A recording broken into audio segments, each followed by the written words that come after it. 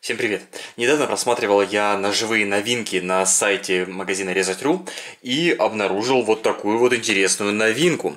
Это лимиточка от Victorinox. И, честно говоря, своим таким ярким цветом, вот этим вот самым гербом, как-то так это все меня впечатлило, поразило, и я решил, что обязательно нужно посмотреть на этот нож поближе. Это лимиточка 2021 года, но я ее увидел вот относительно недавно, уже в 2023 году получается. И нужно понимать, что тут у нас коробочка, коробочка, Limited Edition, все это вот так вот сделано, то есть как бы в принципе ощущается, да, что это лимиточка даже по упаковке викторинексовской. Почему? Потому что, я сейчас вам покажу, у меня в принципе есть уже упаковочка от Викторинекса, например, ну, есть два Викторинекса у меня в кадре, еще дополнительно, вот, и в принципе вот она, обычная упаковочка от Викторинекс, то есть, а здесь у нас, ну, совсем другое дело, да, мы понимаем, что, конечно же, для более крупного ножа, может быть, была бы коробочка покрупнее, но все-таки здесь уже нечто особенное. Ко всему прочему, в комплекте идет вот такой вот темлячок сразу к ножу. И, само собой, вот всякие там congratulations, поздравления, то есть вот это вот все описание о том, что вы тут действительно очень-очень э, крутой человек, который приобрел такой нож. Вот. И что меня еще поразило, у меня на самом деле есть викторины с тоже серии, получается, Alox, э, так же, как и здесь. И э, этот нож у меня 2011 года, то есть у меня лимиточка от форма Gunsru 2011 года. И здесь надпись такая выгравирована No Knife, No Life, соответственно. Ну, как бы это самое главное такое отличие э, от стандартной версии. То есть это была лимиточка создана своими руками, участниками форума. А здесь, получается, прошло ровно 10 лет, 2021 год, ну а по факту даже прошло 13, да, 23 2023 году. Я, по крайней мере, снимаю этот видеообзор.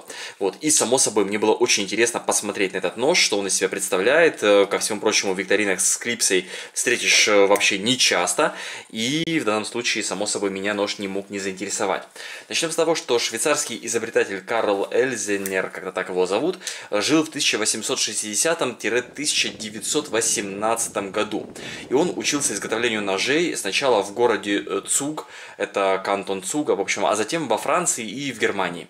Вот. И вернувшись на родину, он открыл собственную мастерскую в городе Ибах. Это кантон Швиц. Я так понимаю, что это все швейцарские, да, вот эти вот названия. Но, в общем, смысл в чем?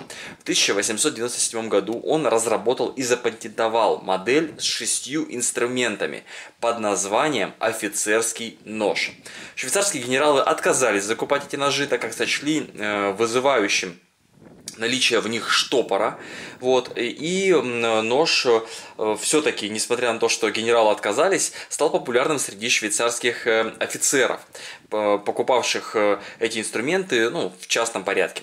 И через несколько лет швейцарская армия все-таки начала закупки э, ножей от, соответственно, этого мастера. И в 1909 году швейцарское правительство разрешило наносить на свои изделия швейцарский крест, который размещался на флаге Швейцарии. И в 2005 году э, компания Victorinox, что тоже такой любопытный факт, выкупила своего главного конкурента, который тоже выпускал аналогичные ножи, на тот тот момент обанкротившуюся компанию э, Венгер. Ну и на самом деле после того, как Викторинекс Венгер выкупили, она просуществовала еще 9 лет, и потом, в принципе, все это производство венгеров эм, свернули. А также из интересных фактов э, про ножи Викторинекс стоит отметить, что Викторинекс сейчас это ну, такая визитная карточка да, швейцарских ножей, да и вообще многофункциональных ножей.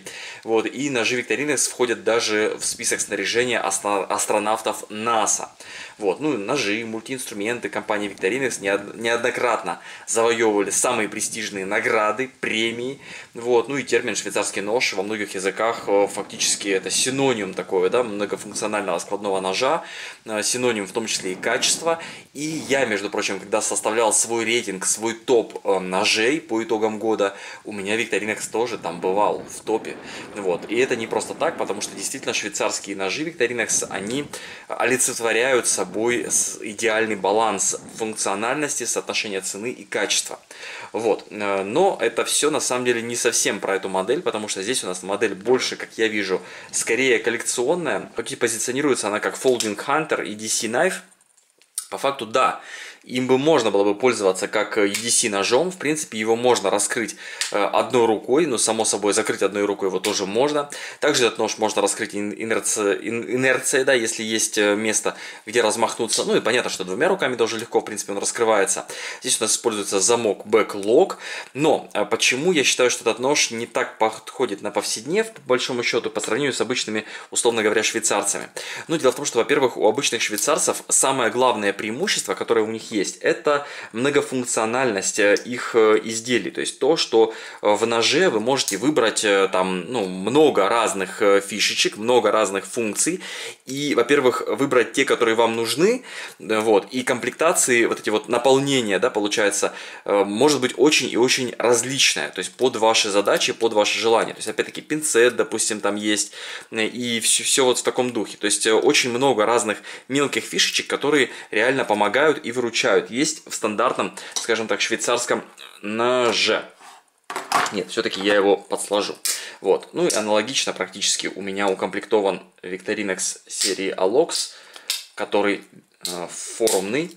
Вот, давайте подсложу. Вот, покажу. То есть здесь у нас тоже есть несколько функций. Э, вот, э, соответственно, открывашка для бутылок, для консерв, отвертка, отвертка, опять открывашка. Здесь у нас такой вот шило-штопор. И, соответственно, нет, правда, здесь никаких пинцетов и всего такого прочего. Но зато вот эта серия с такими вот алюминиевыми накладками, короче говоря, симпатично. Смысл в чем? Невысокая стоимость, раз. Второе, соответственно, это то, что у нас есть возможность выбрать набор функций. Вот мне, например, штопор не нужен. То есть я как-то э, с алкоголем не очень дружу, поэтому как бы вместо штопора, допустим, я себе выбрал модель, у которой есть, например, здесь обычно штопор идет, есть, например, фигурная отвертка. То есть для меня это более полезно, я так считаю. Поэтому, как бы, вот, допустим, я для себя выбрал. Здесь же у нас одна монофункция, то есть, по сути, это только лишь нож. Да, он длинный, он реально большой, и по габаритам я даже не уверен, что Spyderco Military сможет его обойти, но общие габариты примерно сопоставимы, но длина режущей кромки я более чем уверен, да, что здесь даже подлиннее будет. Посмотрите у Викторинекса, то есть реально это большой нож из э, складных ножей.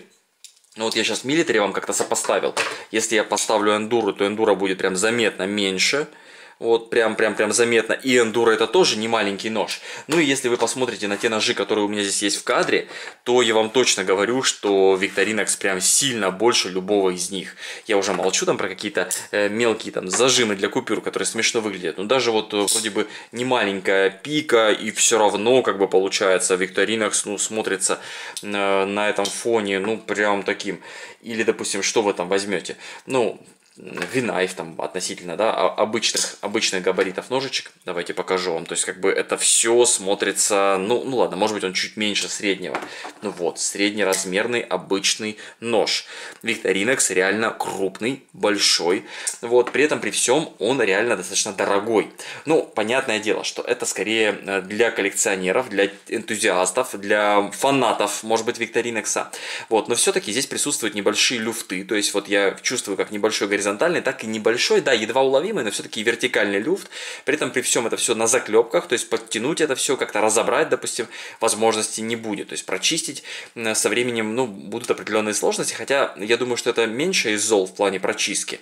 Вот, но все-таки, да, как бы хотелось бы, может быть, чтобы выровнять, допустим, тот же самый клин, вполне возможно, что просто подтянув вот здесь вот осевой, он бы встал абсолютно идеально ровненько, но э, подтянуть осевой возможности нет. То есть я, в принципе, предпочитаю предпочитаю, конечно, чтобы конструкция ножа была разборная, хоть и делаю я это редко. Но все же такую возможность хотелось бы иметь. И опять-таки хотелось бы иметь ее на таком ноже. То есть вот здесь то, что конструкция неразборная, мне тоже не совсем удобно. То есть я бы хотел разобрать для того, чтобы его хорошенько прочистить. Но по большому счету здесь все-таки немножко не та длина режущей кромки. И вот это, в общем, чуть-чуть разная концепция. А, вот. И ко всему прочему, здесь у нас применяется достаточно простая сталь. Это 1.41.16, э, э, ну, ну или X50 CR MOV 15. Да, это у нас нас там CR, это хром, молибден, ванадий, да, это все понятно. Вот, ну, называю, в общем-то, э, так, чтобы... Э, я даже думаю, что вам английские названия э, немножко привычнее в плане обозначения марок стали. Если кто хочет, перейдите по ссылочке к официальному дилеру и посмотрите более подробно вообще состав стали и так далее. Я его называть не буду, но он там есть, приведен, то есть вы можете посмотреть. В общем-то, это высококачественная нержавеющая сталь, как они заявляют, сделана в Германии на предприятиях ThyssenKrupp, как-то так называется. Короче говоря, смысл в том, что эту сталь используют в отраслях с повышенными гигиеническими требованиями, то есть для изготовления медицинского оборудования, для оборудования какой-нибудь э, фармацевтической промышленности, пищевой, э, там, пищеперерабатывающей промышленности, ну, в этих отраслях прежде всего. Таким образом, эта сталь как бы отличный выбор для материала э, изготовления, например, кухонных ножей в плане вот именно контакта с пищей, вот с такими вот моментами. Твердость заявленная 55-56 единиц по шкале Роквелла. По сведению 0,6 в самом начале, потом большую часть режущей кромки в районе 0,5, потом опять 0,6 и прям самый кончик 0,7 мм по обуху 2,7 мм, по весу 180 грамм. 180 грамм это тот вес, который носится, ну скажем так, ощутимо на кармане, то есть я бы не сказал, что это прям очень тяжелый запредельный нож, нет. Но опять, если мы посмотрим на то, что у меня здесь есть в кадре, даже я могу добавить еще ножей в кадр, как каких-нибудь. Вот. И я вам скажу, что в любом случае э, будет здесь самым тяжелым из всех э, ножей, которые вы можете увидеть. То есть никто э, настолько тяжелым не будет. И, конечно же, для плотных джинс, для крупного человека ношение такого ножа будет вполне себе ну, комфортным. Но какие-нибудь летние шорты, легкие брюки, да, допустим, опять-таки небольшие габариты, ваши собственные, да, по комплекции вашей, и, возможно, вы будете, ну, чувствовать некоторое обременение при ежедневном ношении. Вот. Э, пескоструйная обработка у клинка, оксидированный алюминиевый сплав, этот Alox aluminium oxide, то есть Alox это обозначает aluminium oxide, который применяется.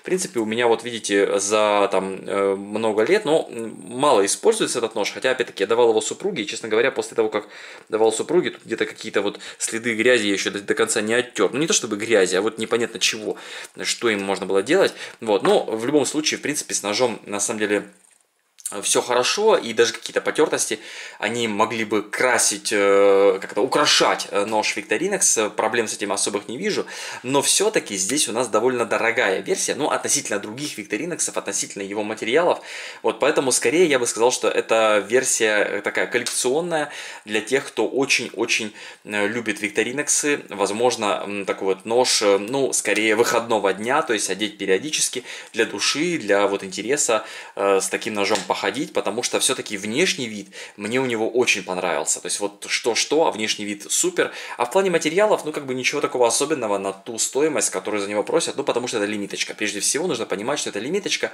И сейчас, если она еще есть в продаже, потому что я не знаю, вы сейчас перейдете по ссылочке в описании, возможно уже те лимитки, которые были в наличии, их уже а, разобрали, раскупили. Если она еще есть в продаже, то, соответственно, э, скоро, значит, их уже не будет. Вот. Э, клипса здесь, в принципе, немножечко мягковато, хотя, учитывая, что ее глубокая э, посадка такая предусмотрена, и, в принципе, глубокая посадка на э, брюки получается, и в общем и целом она такая, как бы, довольно длинная. Давайте покажу вам, ну, например, вот смотрите. То есть сравнивать надо не общую длину да, клипсы, вот отсюда, потому что здесь так крепеж. Я имею в виду, что вот э, сколько она э, в карман будет садиться. То есть как бы, ну, прям, прям, прям довольно длинная. Видно, да, разница. Вот здесь я пытаюсь их выровнять.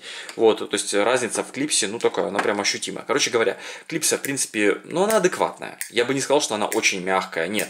Она адекватная, вполне хорошая клипса. Вообще, кстати говоря, претензий к ней нет. Странно, что она не переставляется для левши, но она съемная, между прочим. То есть э, там есть картинки в инструкции, что если поставить на какую-то вот такую вот поверхность, то есть потом постучать вот сюда по клинку, то ее как бы можно оттуда будет снять.